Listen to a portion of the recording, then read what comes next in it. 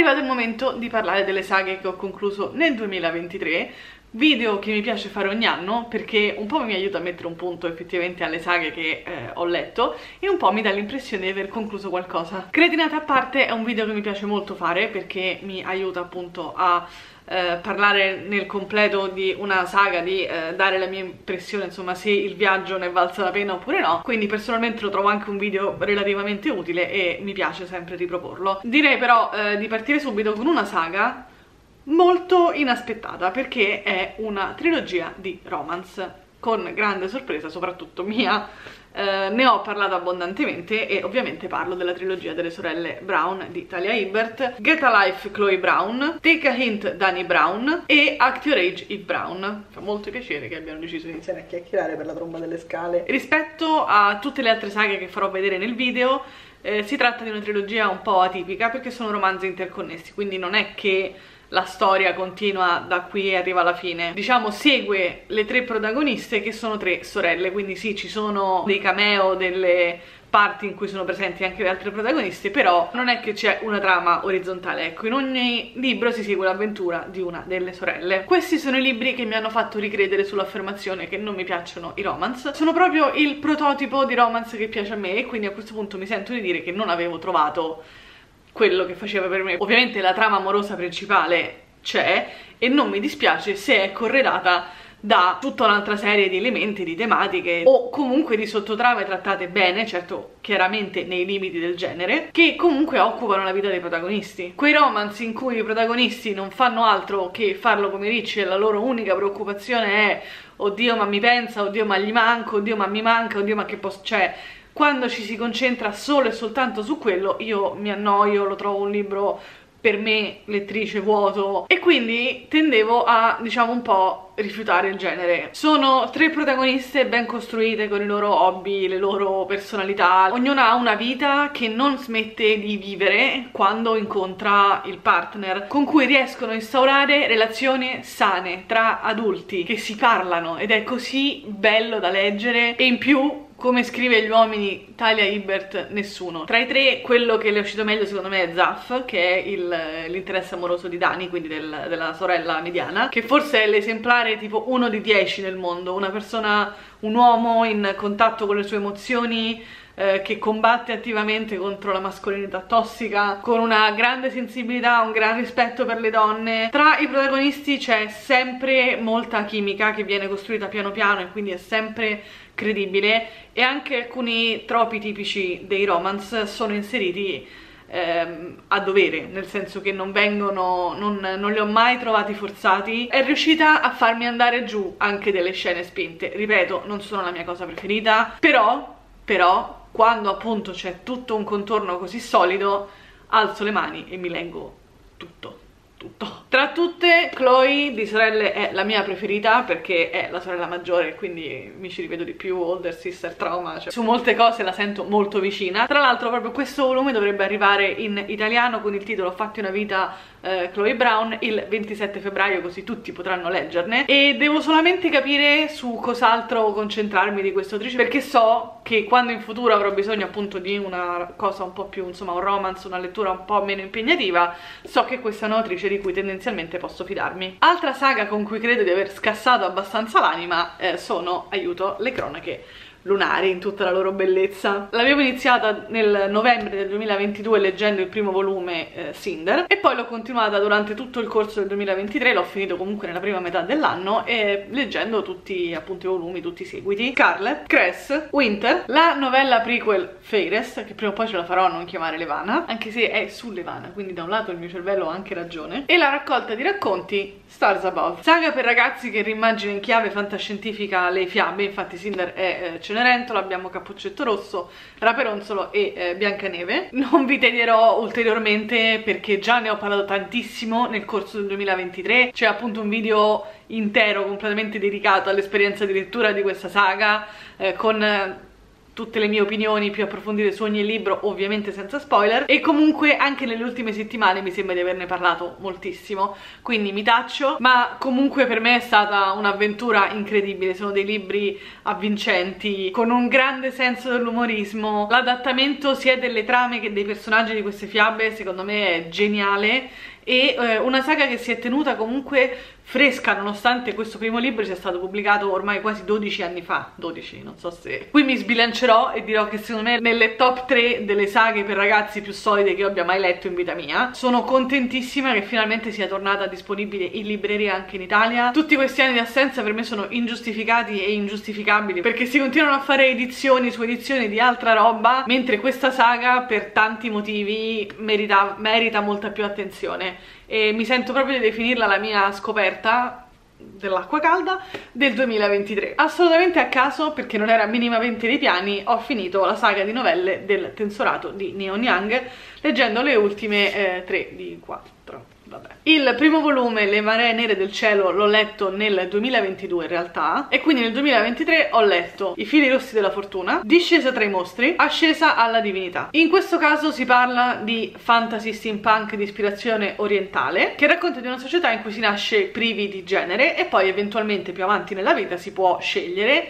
come faranno Ake e Mokoya che svilupperanno i loro poteri durante il loro periodo di permanenza nel grande monastero in cui si trovano per adempiere a una promessa fatta dalla madre. Ora, io sono molto in difficoltà nel parlare di queste novelle perché la prima mi era molto piaciuta e ho fatto passare quasi un anno tra la lettura della prima e della seconda e quindi quando la seconda non mi ha entusiasmato ho pensato che fosse una questione appunto di un lasso di tempo troppo ampio. Ecco, va detto che però il terzo e il quarto li ho letti due mesi dopo e non è che sia andata meglio. Sarà che comunque la costruzione del mondo, il discorso sul genere, sulla religione, sulla tecnologia che erano centrali in questa prima novella e che erano gli elementi che ho trovato più interessanti, sono molto meno importanti, molto meno presenti nel resto della saga. E quindi mi sono mancati proprio, cioè mi è mancato l'appiglio di, di interesse. Mi ha detto proprio poco, sì, ok, eh, negli ultimi volumi, negli ultimi due ci sono un po' di cambiamenti anche a livello di format che magari sì sono un po' più interessanti. Mi ha proprio lasciata indifferente purtroppo. Cioè di per sé non c'è nulla di sbagliato in questi libri sono scritti bene, tradotti bene però sono proprio quei libri che tempo due mesi proprio a dire tanto te li sei dimenticati, cioè avevo questa sensazione proprio mentre li stavo leggendo che è terribile. E l'ho finita con delle emozioni così contrastanti, così confusa che non saprei neanche dare un'opinione se comunque in toto vale la pena leggerle. Non lo so, il primo è quello appunto che mi ricordo meglio nonostante sia passato più tempo da quando l'ho letto. Però non lo so, proprio pochi pensieri e anche confusi. Ho poi concluso anche la trilogia delle Ossa Verdi di eh, Fondalì quindi Jade City, Jade War e Jade Legacy. Anche in questo caso ci troviamo davanti a un fantasy di ispirazione asiatica, in questo caso però è un urban fantasy eh, ambientato sull'isola fittizia di Kekon, che è l'unico posto al mondo dove si può trovare la giada, che potenzia eh, le abilità dei guerrieri ossa verdi, finché non inizierà a circolare una droga che permette a chiunque di maneggiare la giada, allora si inaspriranno le lotte tra i due clan principali dell'isola, la montagna, e eh, gli Zero Vette con a capo la famiglia Kaul, i protagonisti di questa trilogia. Jade City l'ho letto a dicembre del 2022, è stato una delle ultimissime letture e di poco non era rientrato tra i miei preferiti, mentre nel 2023 si sono proprio meritate un posto nell'Olimpo dei miei preferitissimi. Anche di questa saga ne ho parlato abbondantemente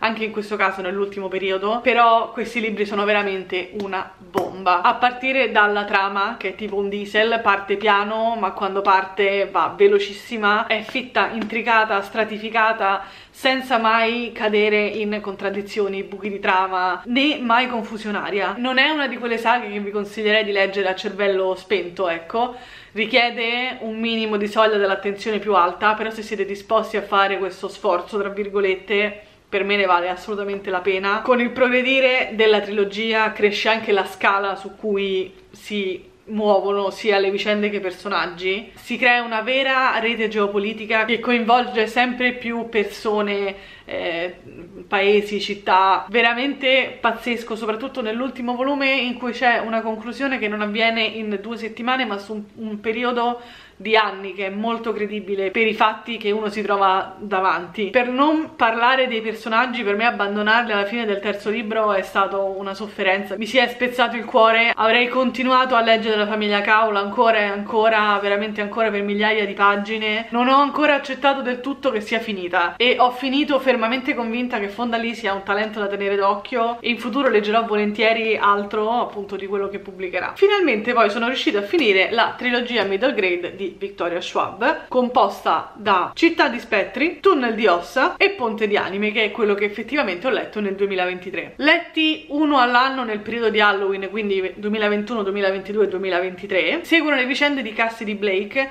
una dodicenne che gira il mondo con i genitori per filmare documentari sul sovrannaturale anche se quella che effettivamente ha una connessione col sovrannaturale è proprio Cassidy, quando dopo un'esperienza premorte ha eh, acquisito l'abilità di attraversare il velo tra il mondo dei vivi e quello dei morti. E da allora è accompagnato dal suo migliore amico Jacob, che è un fantasma. Non ho moltissimo da dire, devo ammetterlo, è una trilogia molto carina, eh, perfetta per appunto il mese di ottobre, ha delle tinte un po' non horror, perché comunque è una storia per eh, ragazzi, comunque bambini. Però ecco, se appunto non ve la sentite di affrontare un horror vero e proprio, questo è molto molto soft e ottimo per la spooky season. È una storia comunque piacevole, scorrevole, il fatto che ogni libro sia ambientato in una città diversa aiuta a non cadere nello schema ripetitivo di, eh, della stessa storia in sostanza e aiuta anche col fatto che i personaggi comunque non siano mai effettivamente troppo approfonditi perché si cambia abbastanza frequentemente. L'elemento però che mi farà ricordare questa trilogia è sicuramente l'amicizia tra Cassidy e Jacob che è molto tenera e molto molto carina però non mi sento di definirla una trilogia che mi ha segnato è ottima se cercate qualcosa con tinte un po' halloweenesche e eh, se siete un po' cagasotto questo secondo me è un ottimo compromesso e con questo io e B. Schwab siamo in un periodo di tregua più o meno. Arrivato novembre mi sono resa conto che avevo ben tre dilogie in sospeso e quindi ho deciso di eh, farle tutte fuori entro la fine dell'anno, fortunatamente ci sono riuscita, ma prima di parlare appunto di tutte queste dilogie vorrei mettere velocemente agli atti che ho letto anche il prequel di Hunger Games, la eh, ballata dell'usignolo e del serpente, che eh, in teoria mi porterebbe a finire anche la saga di Hunger Games. Non sono sicura che conti, da un lato un pochino mi sento di dire di sì, è un libro che mi ha lasciato un po' perplessa, è un eh, crescendo che finisce sul più bello. È un testare le acque per vedere se c'era ancora spazio sul mercato editoriale per Hunger Games secondo me almeno come l'ho percepita. Non un libro brutto neanche un libro necessario semplicemente così, un libro un po' confuso forse. Tornando però a parlare delle dilogie, ho finito quella dell'imperatore splendente, ho scoperto che questa è, è, la traduzione italiana. Il primo volume è Lei che divenne il sole e io ho letto il seguito, He Who Drowned the World. Low fantasy che racconta la nascita reimmaginata della dinastia Ming. La mia esperienza di lettura di questi due tomi è stata drammaticamente differente perché mentre il primo comunque mi era piaciuto molto, il secondo mi ha lasciato perplessa in diversi punti e proprio perché la mia opinione di questi tomi è così divergente mi trovo in difficoltà a parlare e a dare un'opinione comunque completa sulla dilogia. Ha degli ovvi lati positivi, è scritta molto bene, anzi c'è proprio una maturazione nella scrittura tra il primo e il secondo volume, i personaggi sono incredibili, sono costruiti in modo spettacolare ed è sicuramente l'elemento più centrale della, della dilogia. Sono personaggi grigi fino in fondo, disperati, cattivi, diretti verso il loro obiettivo e basta. In più, in generale, sul, nella saga c'è un interessantissimo discorso sull'identità di genere. Il cambio di tono, un po' più oscuro, non mi ha disturbato particolarmente e anche il finale alla fine l'ho trovato giusto per i personaggi. Però ad esempio hanno un ritmo molto strano cioè ci sono delle parti lentissime in cui va tutto pianissimo e poi improvvisamente si riparte e si va alla velocità della luce. Soprattutto per esempio nel, nel finale di questo secondo volume che comunque è il finale generale della trilogia in cui succede tutto nelle ultime 100 pagine. C'è un morto per riga, è tutto molto facile forse un po' troppo in alcuni punti. E poi boh, cioè tutte le robe esplicite per me sono un po' too much.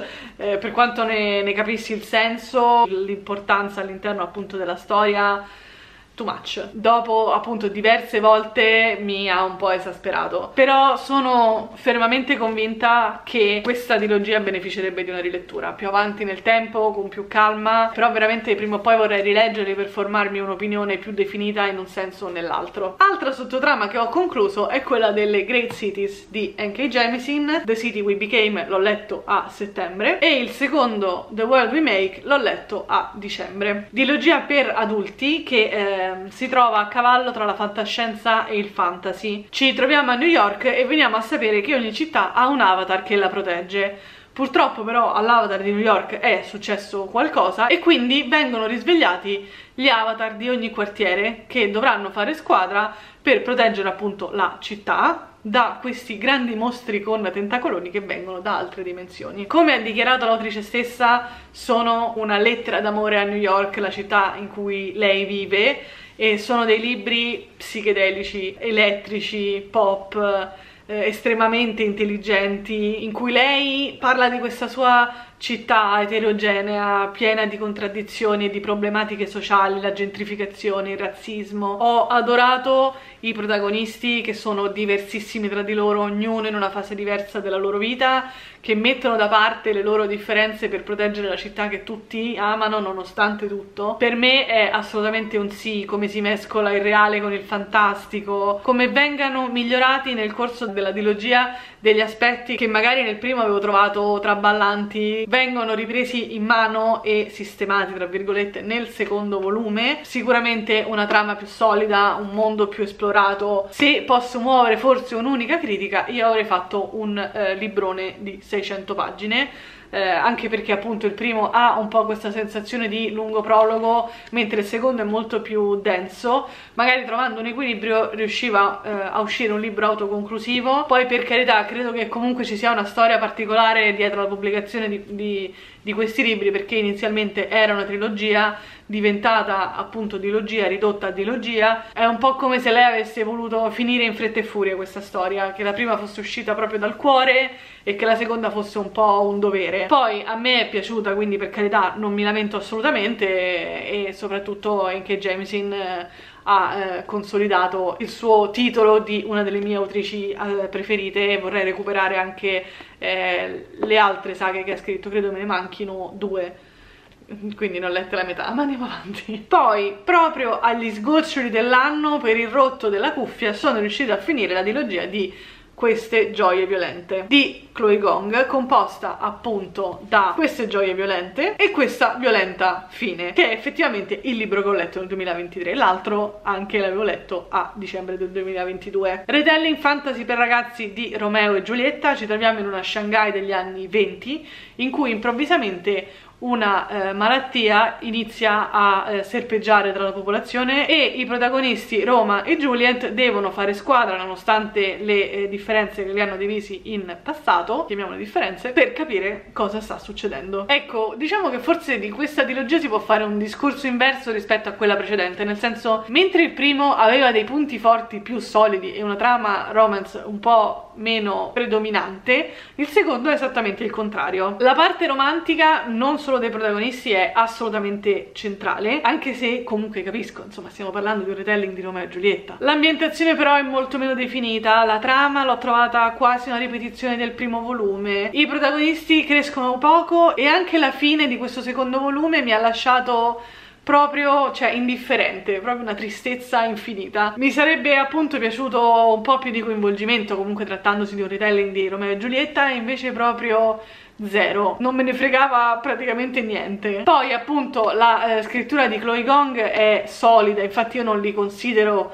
libri brutti, anzi il primo l'avevo proprio considerato un libro promettente, mentre questo secondo però queste promesse non, non le ha mantenute. Non lo so, speravo in un finale più soddisfacente, in una continuazione Uh, un po' più, insomma, con un po' più di verve. Da un lato mi piacerebbe anche leggere Immortal Longings, che è eh, appunto il primo volume della sua nuova, penso, trilogia in questo caso, ma ha eh, ricevuto delle recensioni molto negative, soprattutto sulla trama, quindi sui punti in cui io stessa ho mosso delle critiche invece a questi volumi. Quindi forse al momento mi fermo. È proprio scesa impicchiata nella scala delle mie priorità. Vediamo, comunque lei è molto giovane, quindi avrà sicuramente margine di miglioramento negli anni a venire. Ha tutto il tempo per portare una saga solida dall'inizio alla fine. Bene, quindi queste erano tutte le saghe che ho finito, non necessariamente lette nella loro interezza nel 2023, ma che comunque nel 2023 posso dire di aver chiuso. Io spero che questo video vi sia stato utile e che vi sia piaciuto, se è così ricordate di mettere un like e di iscrivervi al canale per non perdere nuovi contenuti e noi ci vediamo martedì con un nuovissimo video. Ciao!